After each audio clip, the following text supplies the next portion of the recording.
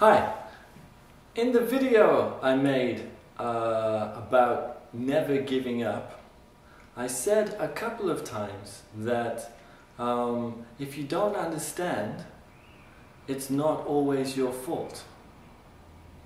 In many ways I would say it's never your fault. Okay.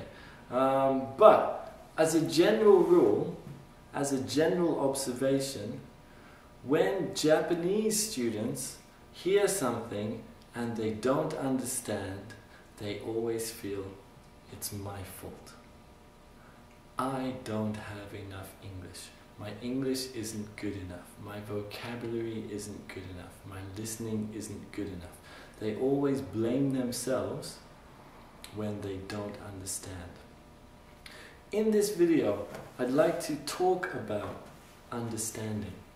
Uh, and I'd like to really show that in many cases, in most cases, maybe all cases, it's not your fault that you don't understand. Okay. Uh, and you should never feel bad about not understanding.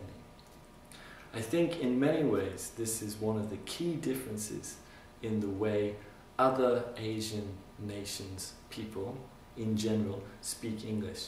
Chinese people don't feel bad when they don't know or if they don't understand. They just say, what was that word? What do you mean? I don't understand. Say it again. Um, Japanese person's like, I'm sorry. Okay, that's a little bit of a generalization, of course, okay. Um, but it, it's true in a lot of cases. Um, in terms of actual English speaking ability, I don't see a lot of difference between the quality of how a Japanese person speaks, a Chinese person, a, a, a person from Thailand. Um, however, when it comes to not understanding something, the difference is very big and very clear. Japanese people in general feel bad, feel guilty for not understanding. Um, during uh, week one of this current course, um, I set my students 12 sentences to listen to and respond to. Uh, it was a listening exercise at home at first, but then we also did it in the class so that they could respond to me and ask for help, ask me to reformulate, and I would give them more help and keep on explaining until they understood.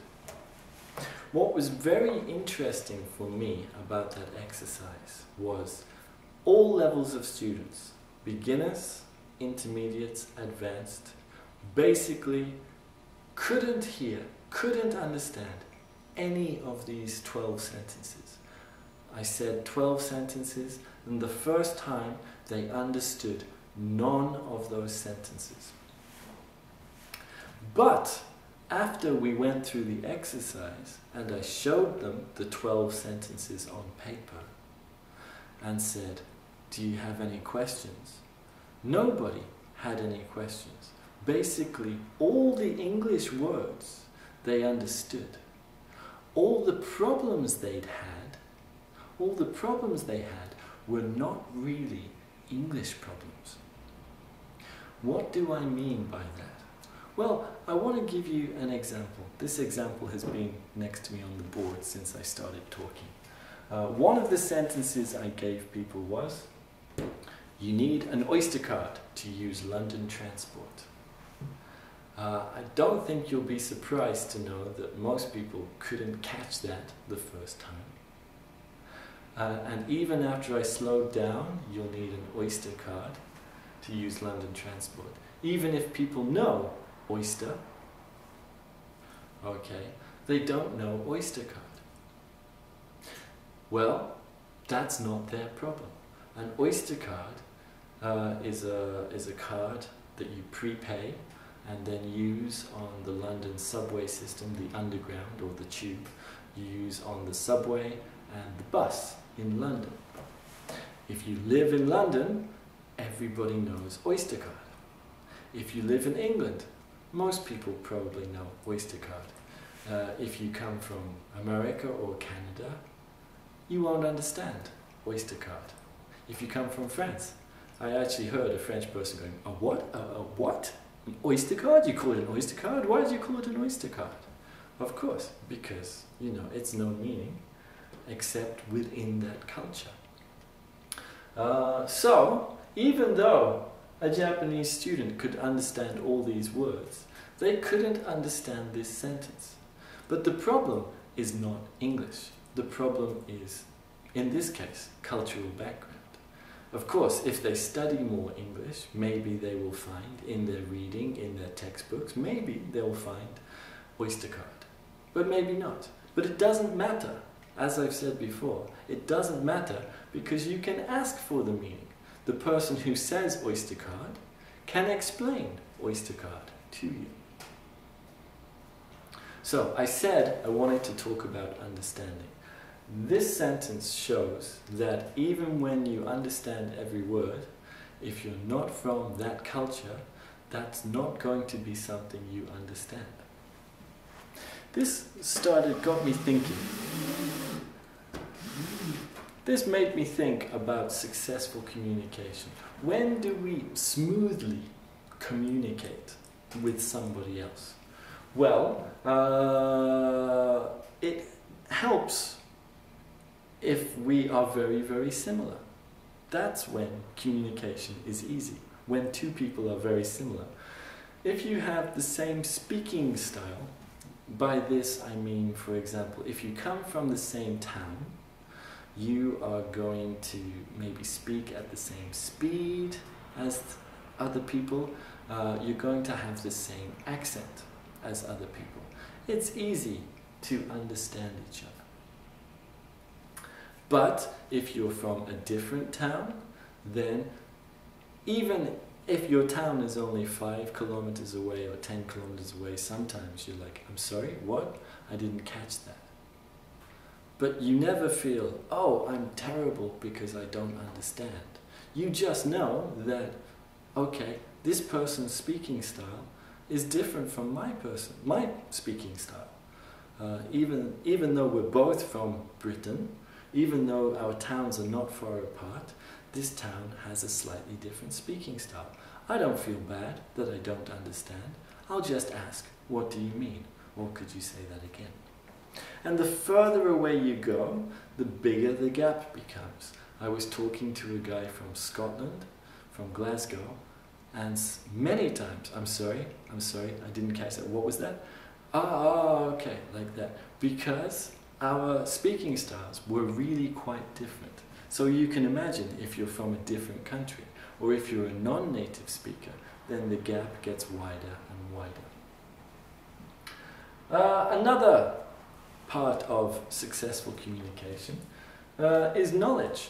Uh, it's easier for me to talk to other people who have, for example, a, a college education, a university education, uh, because we share a lot of the same background. Uh, and maybe not so easy or, or, not so smooth to talk to people from a different background. Uh, of course, if I know something, if I'm talking about fishing, and you don't know about fishing, then I'm going to have to explain some fishing language to you.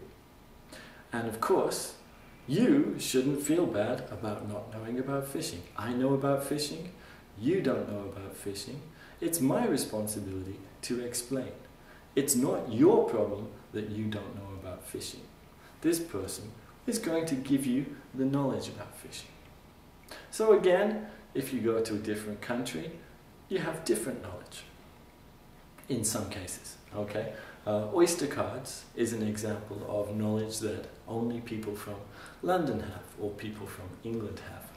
This is, of course, very closely tied to culture. Some things are understood because that's the culture of the country. So I understand we do this. Somebody from outside that culture doesn't know that we do this. Again, nobody is bad or good or right or wrong. Just somebody knows and somebody doesn't know. And if you don't know, you just ask for the explanation. Easy. Um, this, of course, is all very closely tied up to uh, the vocabulary people use and the idioms people use in a particular area, a particular town, a particular region, a particular country. I have things that I say that other countries don't say. Okay? Uh, again, you might say Oyster card is an example of vocabulary that's only understood uh, in a certain area of England.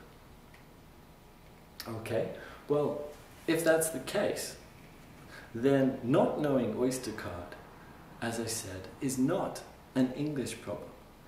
Uh, it's a problem of knowledge, a gap in culture, a, a difference in, in, in, in vocabulary. Uh, in Japan, this is an ICOCA card. In London, this is an Oyster card. Okay, it's just a gap in vocabulary. Neither word uh, is better than the other word, and it's not my problem, it's not my fault if I don't know. In Japan, this is called an ICOCA card, or even just in Kansai, this is called an ICOCA card. In in uh, in Tokyo, it's called a what Suica card. Okay, so it's different in different places. Okay, so um, often when you hear something and you don't understand it, uh, often it's because it's from a different culture or a different place or there's a gap in the knowledge between the two speakers. Okay? Uh, so there's no need to feel bad about this. One person has the knowledge, one person doesn't have the knowledge. Please ask, what does this mean? What did you say? Could you explain that? And the other person can explain that because they used that word. They know what this word means. They know what Oyster card means. They can explain it to you. This is why you should never feel bad about a gap in understanding. Uh, often it's not a gap in your English knowledge.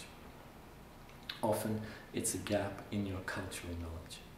Uh, and the best way to deal with that is through communication. Use your Swiss Army knife to get the meaning from the other person. Then the conversation continues.